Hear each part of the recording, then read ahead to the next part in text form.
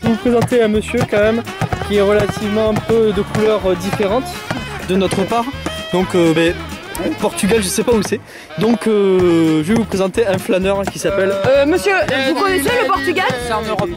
C'est en Europe, le Portugal D'accord. Donc je vais vous présenter monsieur euh, Jean-Ludovic Jean-Ludovic Bernion.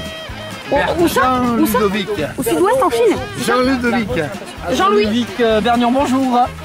Déjà. Voilà, Jean-Ludovic, que devenez-vous euh, quand même aujourd'hui dans cette petite France actuelle euh, suite sur cette plage à côté du feu Franchement, euh, je me suis emporter par, euh, par le bruit du tampon, si, euh, si on peut s'exprimer ainsi. Je crois que euh, la base rythmique est, euh, est assez douce. Euh, D'ailleurs, le public, le public ne se trompe pas. Euh, je pense qu'au bout d'un moment, euh, il va quand même falloir qu'il s'arrête parce qu'il va être euh, D'accord, très bien, au revoir. Jean-Patrick Trio euh, à vous les studios.